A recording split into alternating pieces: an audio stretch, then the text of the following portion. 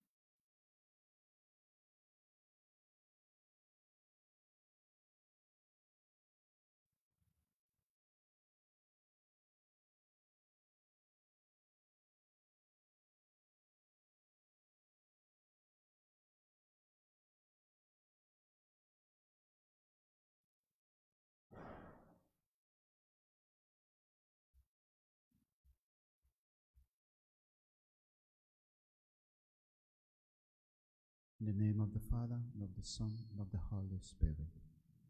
The grace of our Lord Jesus Christ, and the love of God, and the fellowship of the Holy Spirit be with you all. Good morning, all.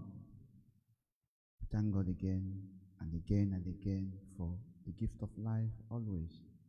And we pray for the grace to utilize this life in serving Him today. We are all sinners, always in need of God's mercy. Let us pray for His forgiveness. I confess to Almighty God and you, my brothers and sisters, that I have greatly sinned in my thoughts and in my words, in what I have done and in what I have failed to do, through my fault, through my fault, through my most grievous fault. Therefore I ask the Blessed Mary, ever Virgin, all the angels and saints, and you, my brothers and sisters, pray for me to the Lord our God. May Almighty God have mercy on us, forgive us our sins, and bring us to life everlasting. Lord, have mercy. Christ, have mercy. Lord, have mercy. Let us pray.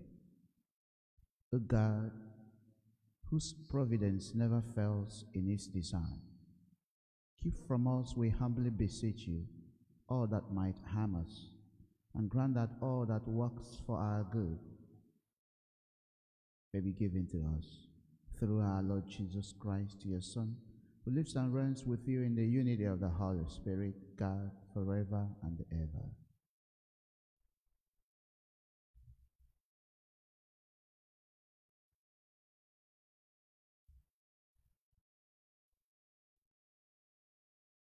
A reading from the book of Tobit. You are righteous, O Lord, and all your deeds are just. All your ways are mercy and truth. You are the judge of the world.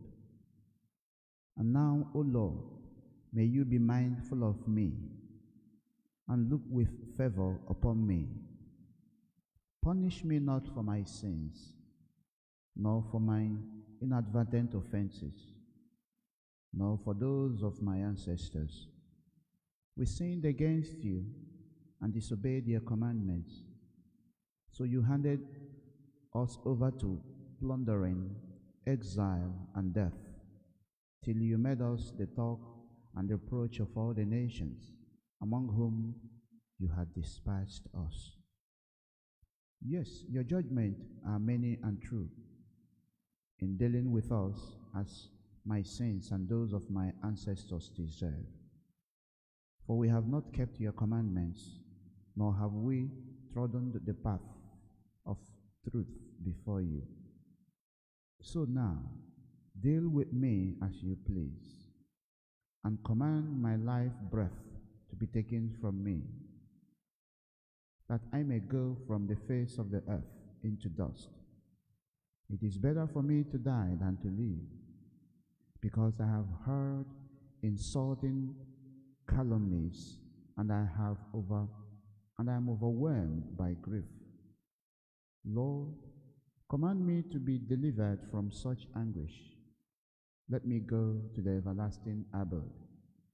Lord, refuse me not, for it is better for me to die than to endure so much misery in life and to hear these insults. On the same day, at Ecbatana in Media, it so happened that Raguel's daughter, Sarah, also had to listen to abuse from one of her father's maids, for she had been married to seven husbands. But the wicked demon, Asmodeus, killed them off before they could have intercourse with her, as it is prescribed for wives. So the maid said to her, You are the one who strangles your husband. Look at you. You have already been married seven times, but you have had no joy with any one of your husbands. Why do you beat us? Is it on account of your seven husbands? Because they are dead? May we never see a son or daughter of yours. The girl was deeply saddened that day And she went into an upper chamber of her house, where she planned to hang herself. But she reconsidered, saying to herself, No, people would level this insult against my father. You had only one beloved daughter, but she hanged herself because of all because of ill fortune. And thus would I cause my father in his old age to go down to the Netherland laden with sorrow. It is far better for me not to hang myself, but to beg the Lord to have me die, so that I need no longer live to hear such insults. At that time, then, she spread out her hands and facing the window poured out her prayer. Blessed are you, O Lord, merciful God, and blessed is your holy and honorable name. Blessed are you in all your works forever. All that very time, at that very time, the prayers of these two suppliants was heard in the glorious presence of Almighty God.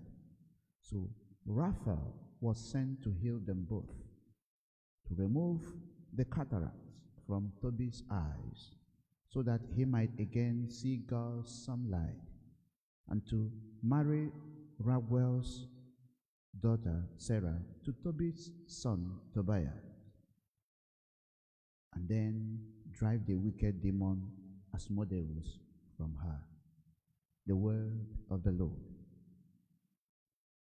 To you, O Lord, I lift up my soul. To you I trust. Let me not be put to shame. Let not my enemies exult over me. No one who waits for you shall be put to shame. Those shall be put to shame who heedlessly break faith. Your ways, O Lord, make known to me. Teach me your path. Guide me in your truth and teach me, for you are my God, my Savior. Remember that your compassion, O Lord, and your kindness are from of old. In your kindness, remember me, because of your goodness, O Lord. Good and upright is the law. Thus, he shows sinners the way. He guides the humble to justice. He teaches the humble his way. Alleluia, alleluia. I am the resurrection and the life, says the Lord. Whoever believes in me will never die. The Lord be with you. A reading from the Holy Gospel according to Mark.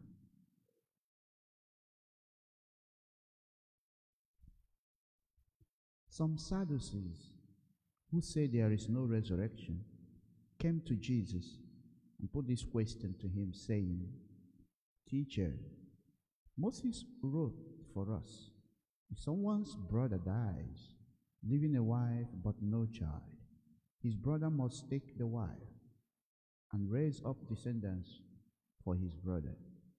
Now, there were seven brothers. The first married a woman and died, leaving no descendants. So the second brother married her and died, leaving no descendants. And the third, likewise. And the seven left no descendants. Last of all, the woman also died. At the resurrection, when they rise, whose wife is she going to be? For all seven had been married to her. Jesus said to them, Are you not misled? Because you do not know the scriptures or the power of God. When they rise from the dead, they neither marry nor are given in marriage, but they are like the angels in heaven. As for the dead being raised, have you not read in the book of Moses, in the passage about the bush, how God told him, I am the God of Abraham, the God of Isaac, the God of Jacob.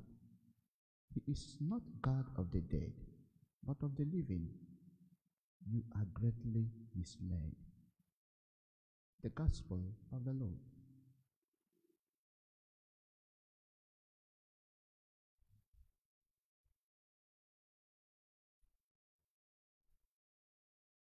The Sadducees don't believe the resurrection.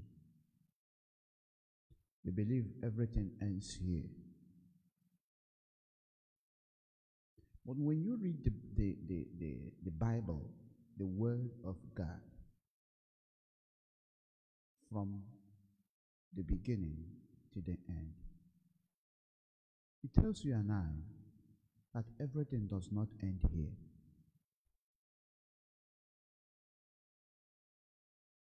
One thing I keep asking myself are there still Sadducees, not in the Jewish territory, in our own territory?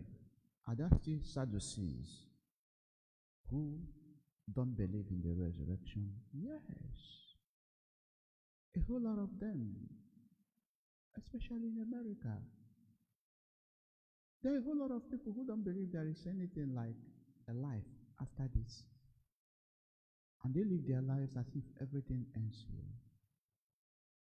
And those people, when they run into one difficulty or the other, the next thing is go and hang yourself. Go and commit suicide. Because all your hope has been placed on whatever is obtainable here.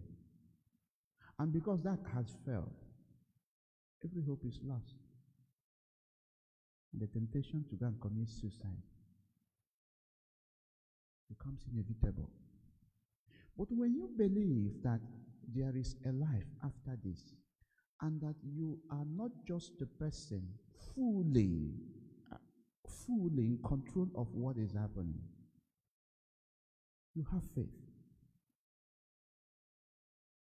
Listen, things are very bad in Nigeria, where I come from. What we go through, I don't know about Ghana, I don't know about other, I know things are bad in Africa, yes, generally. What we go through over there, some people who are in this America cannot go through it. If they do, they'll commit suicide. If they do, they'll get, they'll get fed up and they will, they will just take their lives and go. They will tell you, enough is enough, I can't take this. But what keeps sustaining us is the hope that even if it is bad now, the next minute, or the next day, or the next week, or the next month, something may turn around.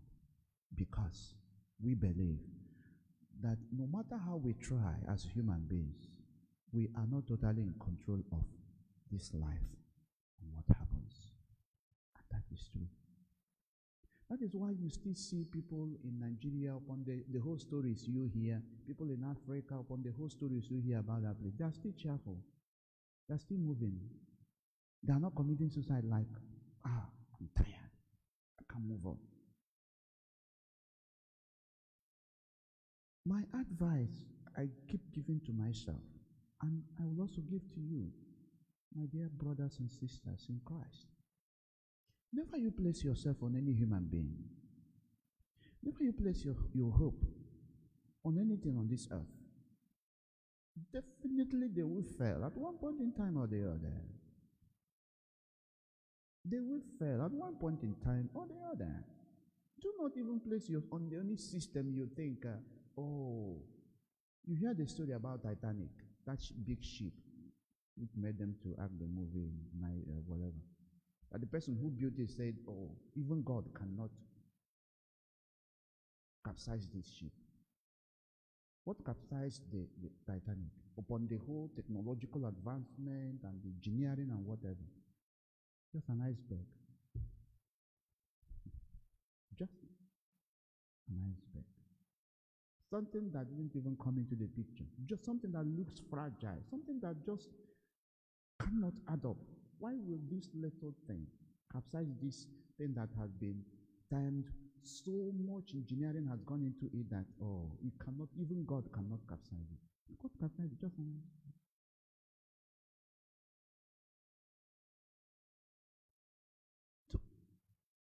God has given us this life to take dominion, to take charge, to enhance it, but it does not belong to us. We keep discovering things, fine, but then it does not belong to us. So I don't want you to, to get, get over to the camp of the Sadducees who believe that there is no resurrection. Every child of God must believe that everything does not end here. There is a life after here. And that is that life in the resurrection. And that is that life Jesus has promised us that if we live well here, if we live well, believing in God, keeping our hands clean, believing no matter the challenges we go through, we have our ticket for that life. And that life is the better one.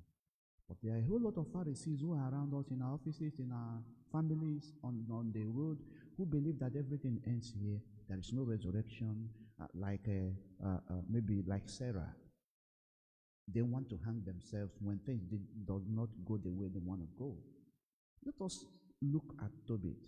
Thank God, Sarah, at a point in time, got herself back and said, No, I'm not going to commit suicide. God, you own this life, take it. At that point in time, something happened in heaven. And an angel was sent to go and take care of the situation. God exists. He's still real. He's still active. And the promise of the resurrection by Jesus is not just a, a, a, a fabrication, it's real. Us keep believing, no matter the challenges. Do not allow any Sadducee around you to convert you to believe that everything ends here, there is no God, there is no resurrection, everything ends here. No. I know some of you are maybe maybe have the opportunity in life or still having the opportunity to work within the, the health facilities. You, you see that when someone wants to live this life, if they tell you what they experience, a lot of people regret some decisions they have made when they were energetic because they now start seeing things clearly as they are. And this life doesn't belong to us. So let's keep having faith. Spread this message. If you meet any Pharisee, tell him there is resurrection. Tell him there is a life after this one. Tell him God exists. Tell him if you live well, loving God and loving your fellow human being, that that life, you have the ticket for it. As I tell myself, I also tell you, keep your faith strong. Do not allow anything to push you off or to make you to attempt to committing suicide. You don't own this life. God owns it. And He calls you back whenever He wants to call you back. Not your own, but on your own terms. So may good Lord continue to help us. And may Jesus continue to strengthen us. Amen.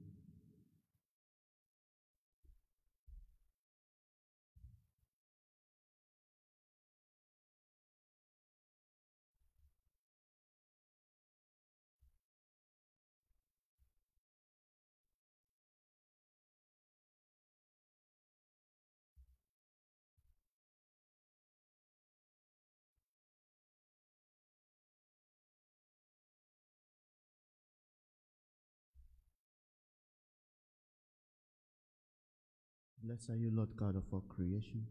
For through your goodness we have received the bread we offer you, the fruit, fruit of the earth and work of human hands. It will become for us the bread of life.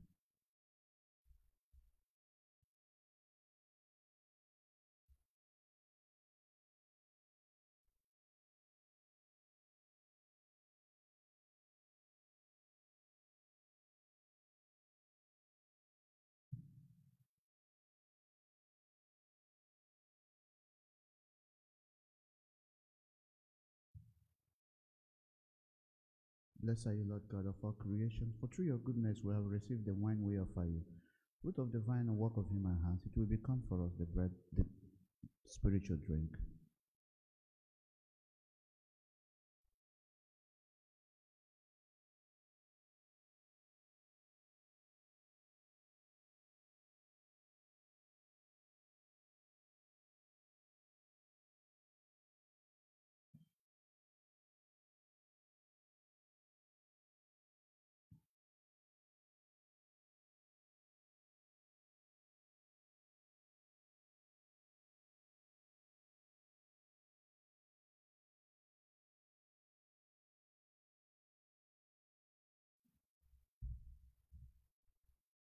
Brethren, that my sacrifice and yours may be acceptable to God the Almighty Father.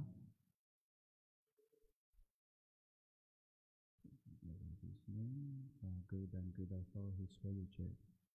Trusting in your compassion, O Lord, we come eagerly with our offerings to your sacred altar, that through the purifying action of your grace, we may be cleansed by the very mysteries we serve, through Christ our Lord. The Lord be with you. Lift up your heads. Let us give thanks to the Lord our God.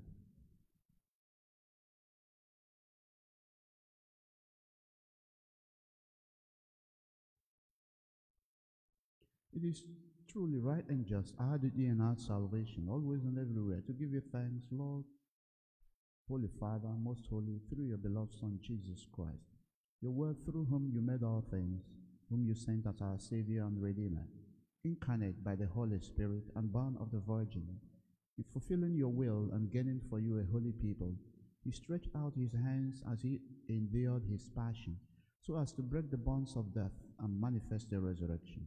And so, with the angels and all the saints, we declare your glory, and with one voice we acclaim Holy, holy, holy Lord God of hosts, heaven and earth are full of your glory. Hosanna in the highest. Blessed is he who comes in the name of the Lord. Hosanna in the highest. You are indeed holy, O Lord, the fount of all holiness. Make holy, therefore, these gifts, we pray, by sending down your Spirit upon them like the dewfall, so that they may become for us the body and blood of our Lord Jesus Christ. At the time he was betrayed and entered willingly into his passion, he took bread, giving thanks, broke it, gave it to his disciples, saying, Take this, all of you, and eat of it, for this is my body, it will be given up for you.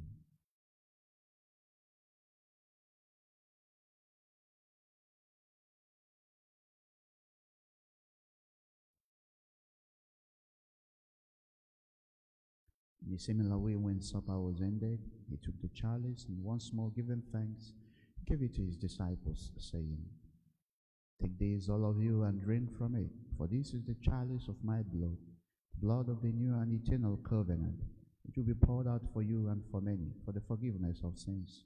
Do this in memory of me.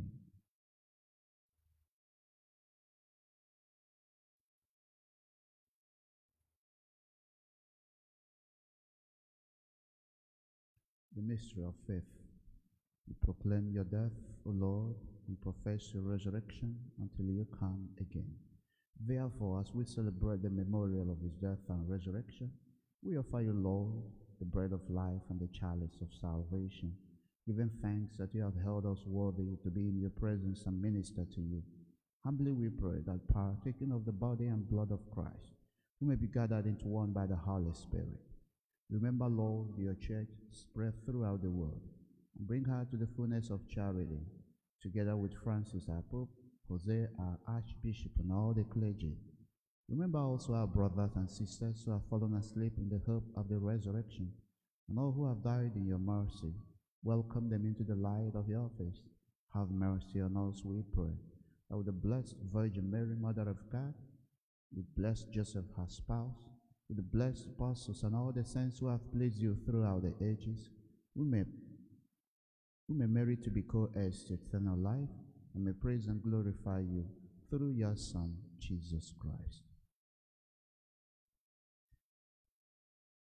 Through him and with him and in him, God Almighty Father, in the unity of the Holy Spirit, all glory and honor is yours forever and ever. At the Savior's command and formed by divine teaching, we dare to say, Our Father,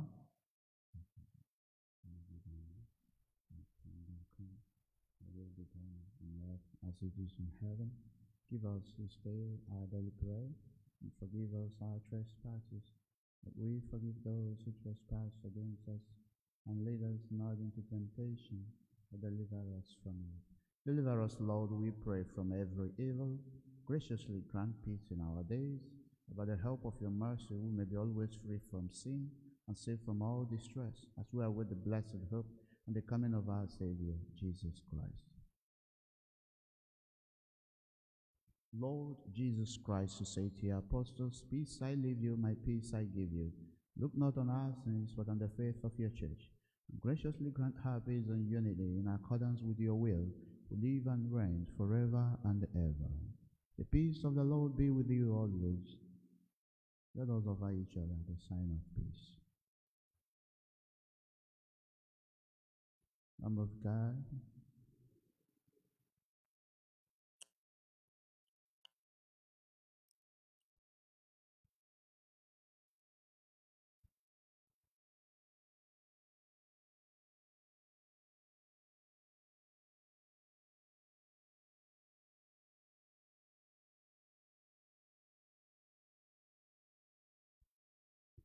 Behold the Lamb of God.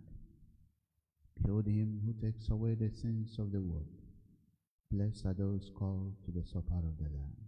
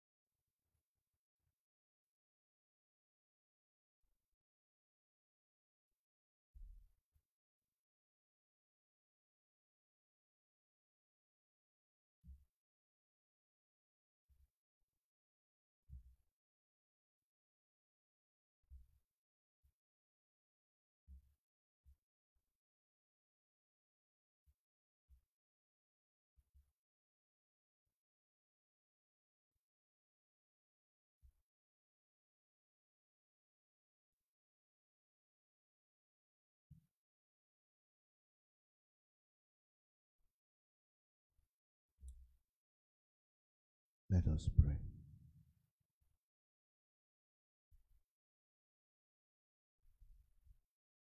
Governed by your Spirit, we pray, O Lord, those you feed with the body and blood of your Son, professing you not just in word, but in speech, but also in works and in truth. You, we may merit to enter the kingdom of heaven through Christ our Lord. Thank you. Have a wonderful day. The Lord be with you. May the Almighty God bless us in the name of the Father, and of the Son, and of the Holy Spirit. Let us go in peace, glorifying God by our lives.